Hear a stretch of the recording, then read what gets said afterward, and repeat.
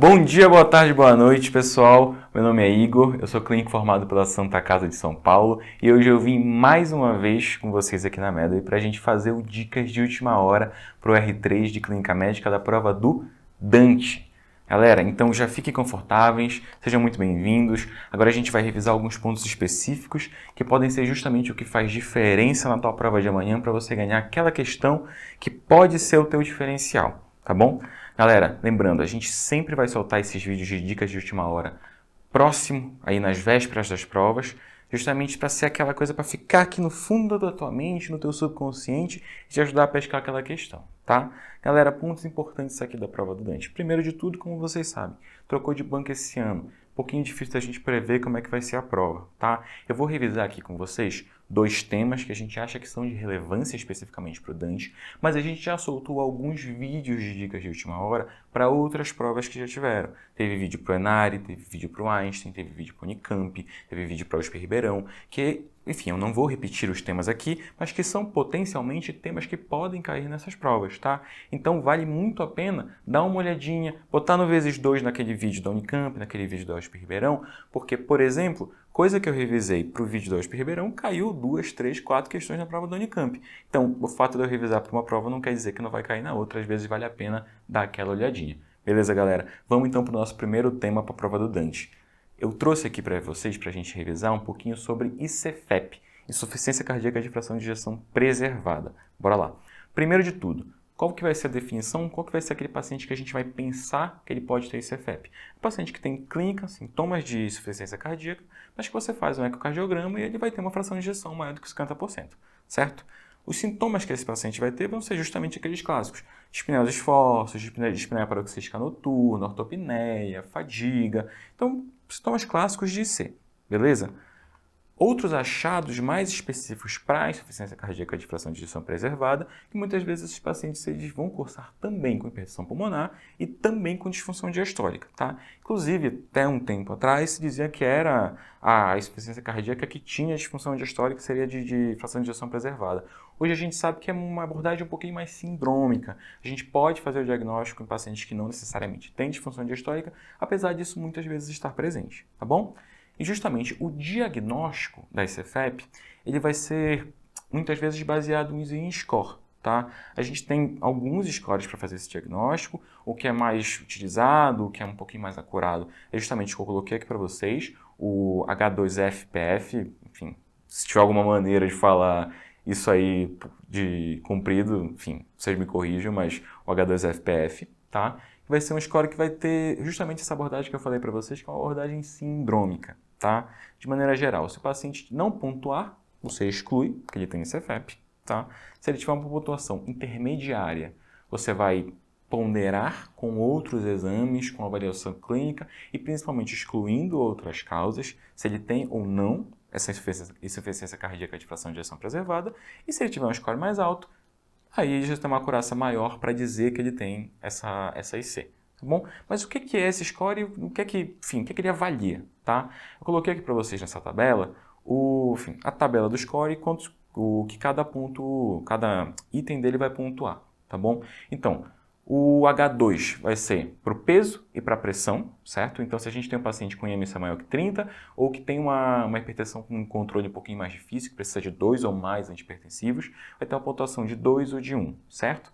Paciente que tem FA, seja persistente ou paroxística, já vai pontuar 3. Paciente que já está com hipertensão pulmonar vista no, no eco, com a PSAP maior do que 35, vai pontuar 1. Paciente que é idoso também, por, já, só por isso ele já pontua. E o paciente que tem um aumento das pressões de enchimento, que foi visto num ecocardiograma, aí vai pontuar 1 também. Bom, galera, eu acho difícil que isso caia na prova de vocês, pedindo para vocês calcularem o score, tá? Assim como, por exemplo, cai uma questão de neutropenia febril, ele não vai te pedir o MASC daquele paciente, tá? O que isso aqui pode ser cobrado para vocês é para vocês entenderem que é um diagnóstico que muitas vezes ele é sindrômico tá? É um diagnóstico que você pega, pesca uma coisa ali, pesca uma coisa aqui, pesca uma coisa ali, e aí você consegue fechá-la, certo? Às vezes cai no anunciado, ele te dá várias informações soltas e você pegando uma aqui, uma aqui, uma aqui, uma aqui, você consegue chegar lá, tá? Então o que mais para vocês terem, vocês já terem ouvido falar, tá aqui no, no fundo da cabeça, que esses fatores que a gente avalia, eles podem contribuir para a gente dizer que o paciente vai ter IC, tá bom? voltando aqui para a gente falar um pouquinho sobre aqueles pacientes que ficaram no meio do caminho, tá bom? Quando é muito alto ou muito baixo o score, é mais fácil, tá? Às vezes eu nem preciso do score para esses pacientes, porque se ele tem tudo, beleza, eu não vou precisar pontuar, não vou precisar parar para revisar o score para ver se ele vai fechar critério. E se ele não tem nada, aí eu também já vou excluir. Mas aqueles pacientes que ficam no meio do caminho, é aquele paciente que eu tenho que dar um passinho atrás, parar, pensar e reavaliar. Hum, será que ele realmente tem C? E se a minha suspeita ainda assim foi de que esse é o que está causando os sintomas dele, aí eu paro para, no primeiro passo, pedir um BNP, tá? Que na maioria dos casos vai ser o fator que vai definir ou não esse diagnóstico, tá bom? Então se ele vier alto, beleza, os sintomas desse paciente muito provavelmente são decorrentes da CIC. E aí eu vou passar para o resto da abordagem.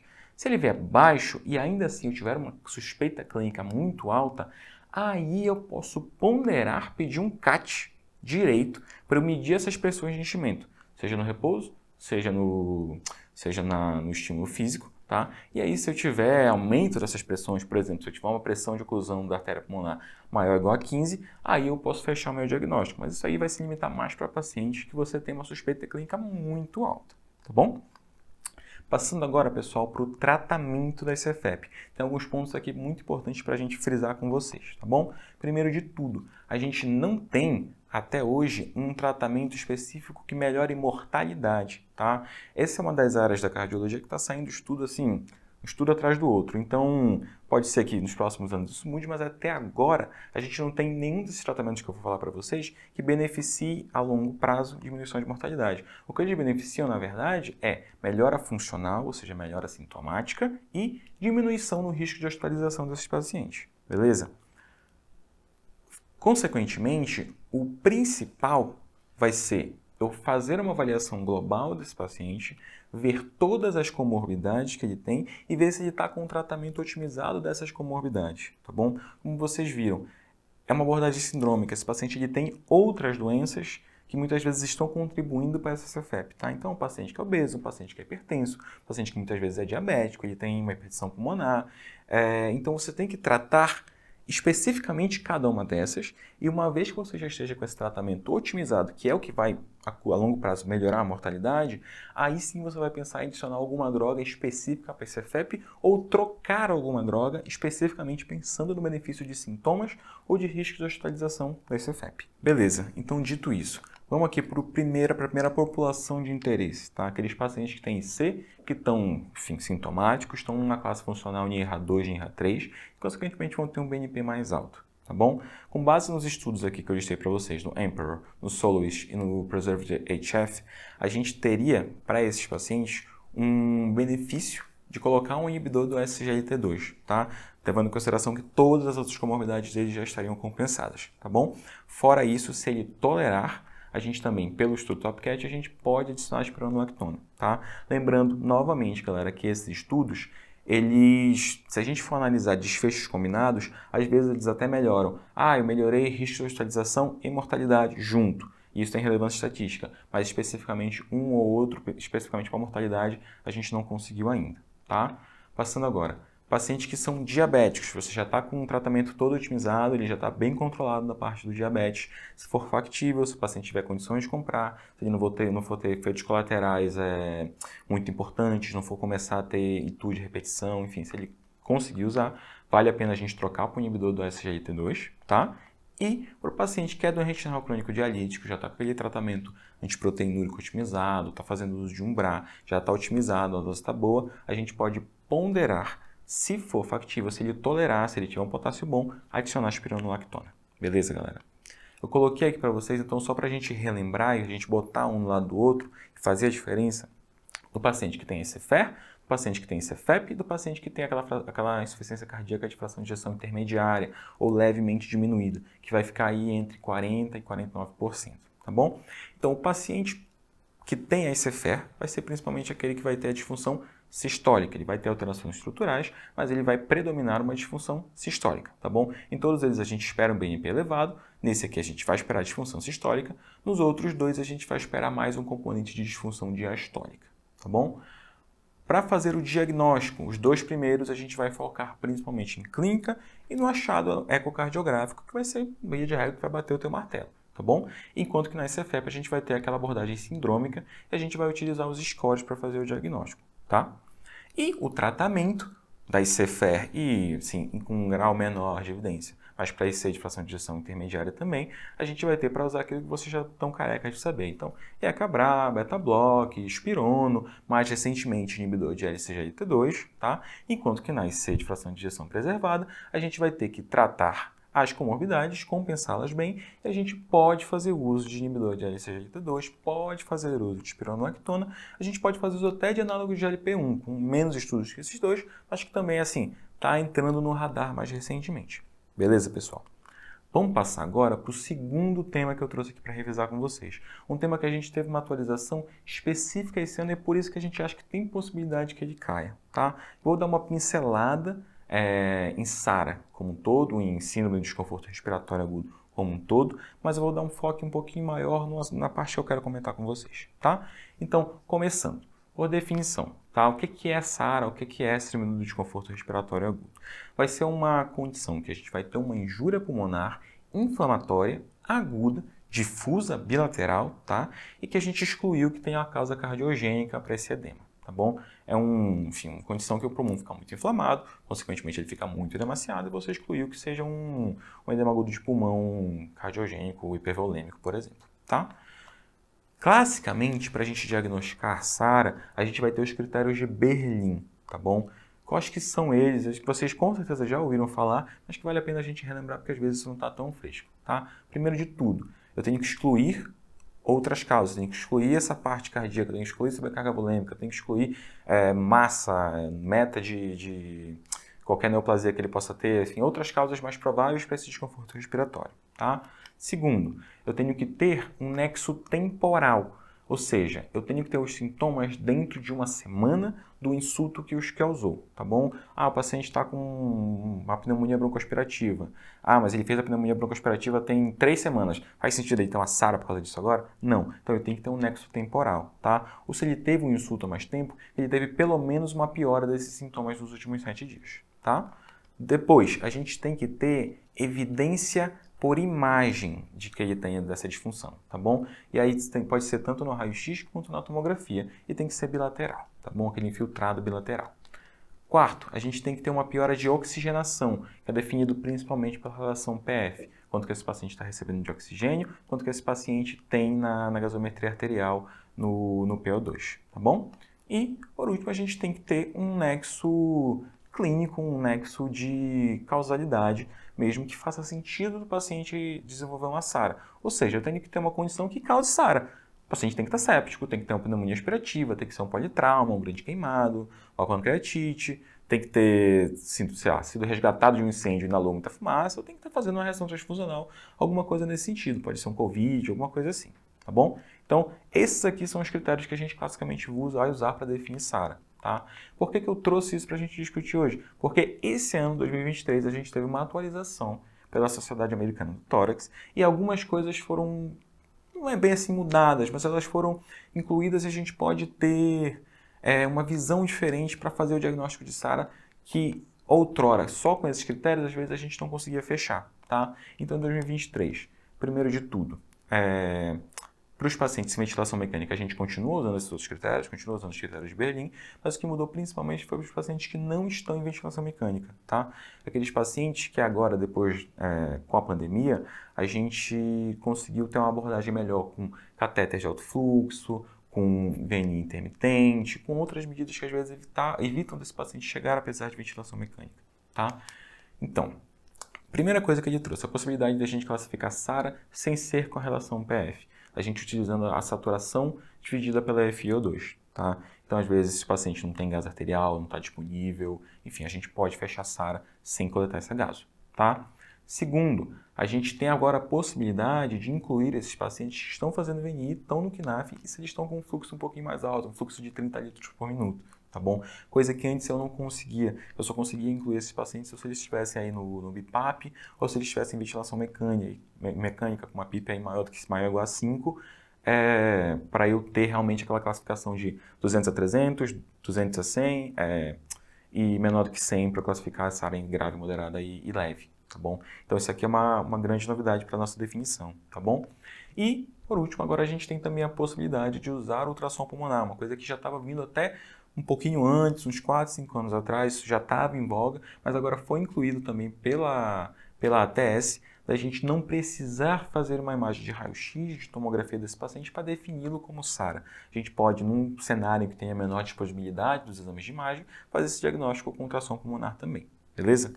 Coloquei, galera, para vocês verem aqui, uma tabela que basicamente ela vai resumir isso que eu acabei de falar, tá? O tempo de instalação continua de 7 dias, certo? É, a questão do nexo causal, do edema pulmonar, do, do, da inflamação no pulmão, continua da questão de você ter que excluir outras causas, tá? Que mudou aqui na parte de imagem é que agora a gente consegue fazer a imagem pelo ultrassom, como eu disse para vocês. A gente obviamente tem que excluir que a hipoxemia seja decorrente de alguma outra causa, mas a gente consegue fazer o diagnóstico com ultrassom de pulmão. É, e na definição de, da hipoxemia, a gente tem a possibilidade nos pacientes sem ventilação mecânica de usar o PF da maneira como a gente fazia antes, certo? Então, aquele 100 a 200, menor do que 100, entre 200 e 300, a gente tem a possibilidade aqui de usar o catéter nasal de alto fluxo, é, se ele tiver a 30 litros por minuto ou mais do que isso, e a gente tem também a possibilidade de aferir, de avaliar essa hipoxemia é, num paciente que tem aquela relação saturação de oxigênio sobre FiO2 é menor ou igual a 315, tá bom? Galera, passando agora para a gente comentar um pouquinho sobre o manejo, dar uma pincelada, tá bom? Principalmente falando daqueles pacientes que ficam mais graves, aqueles pacientes que precisam ser entubados, precisam ser colocados em ventilação mecânica. A gente tem que priorizar para esses pacientes justamente a ventilação protetora. Então, ventilá-lo com um volume corrente, mais ou menos de 6 ml quilo, tá? Para vocês gravarem o número grave em 6. Praticamente pode ser aí entre 4 e 8, mas via de regra a gente mira no 6 e vai ajustando conforme o paciente responde, tá? Uma pressão de platô menor do que 30, uma driving pressure menor do que 15 e uma PIP otimizada, seja pela estratégia que você decidir usar. Seja você titulando a PIP, seja você usando PIP table, enfim, que for a sua rotina, tá? E que vale a pena a gente comentar também ainda disso. Lembrar que a fórmula da driving pressure é justamente a pressão de platô subtraída pela PIP, certo? Que para a gente calcular esse volume corrente aqui de 6 ml a gente vai usar o peso predito, Lembrando que tem uma fórmula de peso predito para homem e uma fórmula de peso predito para mulher, tá? E que nesses pacientes, muitas vezes, para a gente ventilá-los com esse volume mais baixo, a gente acaba deixando o paciente com uma acidose respiratória tá bom? Só que nesses pacientes é tão importante que eu deixe ele dessa maneira na medida do possível que a gente consegue tolerar acidoses respiratórias com um pH um pouquinho mais baixo, tá? Então, via de regra, até 7.2 de pH para acidose respiratória, a gente consegue manter dessa maneira sem eu ter que aumentar muito a minha frequência respiratória, sem eu ter que fugir muito dessa ventilação protetora, tá bom? Justamente eu estou falando isso porque um dos fatores preditivos de pior prognóstico é, nesse paciente com SARA vai ser justamente uma acidose respiratória refratária. Tá? Até mais do que esse paciente que fica super hipoxêmico, a gente vê que aquele paciente que está com uma acidose respiratória ruim, que está com aquele pulmão muito duro, ele é aquele paciente que realmente vai mal, vai pior do que os outros. Tá bom? Para aqueles pacientes que estão refratários a essas medidas que eu falei para vocês, para a gente dar uma pincelada aqui um pouquinho mais rápida, a gente tem a opção, se ele tiver muito assincrônico, se ele tiver, assim, você não estiver conseguindo otimizar a ventilação dele, estiver fazendo duplo disparo, estiver fazendo muito assincronia, você tem a opção de usar um bloqueador neuromuscular, não é rotina em todo mundo, mas para esse substrato de pacientes ele é benéfico, tá? Se você tiver um paciente que esteja hemodinamicamente estável, com uma dose, uma uma dose de vasopressor um pouquinho mais baixa, se você tiver como monitorizar esse paciente com uma pressão invasiva, se você tiver uma equipe treinada em um serviço que esteja acostumado a fazer isso, você tem a possibilidade de ventilar esse paciente em posição prona, justamente para você pegar aqueles alvéolos que estão mais atrás, você conseguir recrutá-los e ventilá-los melhor, tá? E para pacientes que são refratários a todas essas medidas, a gente tem aquelas medidas de resgate. Óxido nítrico como vaso de como é, dilatador, inalatório, né, como, como dilatador, é, principalmente para aqueles pacientes que têm algum grau de disfunção é, de câmaras direitas associado, tá bom? E para aqueles pacientes que estão muito hipoxêmicos, é aquele paciente que fica pelo menos 3 horas com um PF menor que 50, 6 horas com PF menor que 80, ou aquele paciente que tem uma acidose respiratória com pH menor do que 7,25, mais grave, que tem um PCO2 assim mais alto, maior que 60, que você já otimizou a ventilação dele, você tem também a opção de botar esse paciente em ECMO VV, tá bom? Galera, era isso que eu queria passar para vocês aqui do Dicas Estudante, lembrando, dê uma olhada nessas dicas, dê uma olhada nas dicas anteriores, a gente não tem muito bem assim uma ideia tão boa como que vai ver essa prova, já que é o primeiro ano, mas tem muita coisa aí que a gente já revisou, além disso que a gente falou agora, que vale muito a pena para vocês darem uma olhadinha. Bom, galera, desejo para vocês toda a sorte do mundo, boa prova!